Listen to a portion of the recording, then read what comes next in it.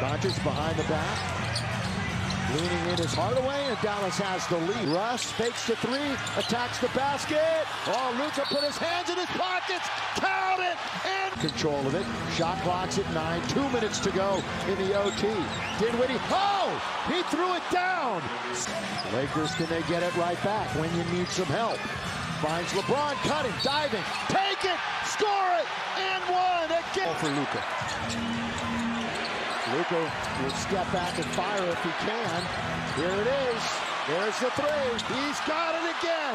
Uh, Dinwiddie, Dinwiddie all the way, throws it down, and that's the way we start. Rebounded Dennis Schroeder.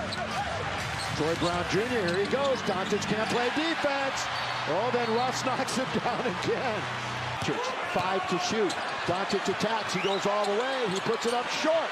Tipped up and in by Wood in the second overtime.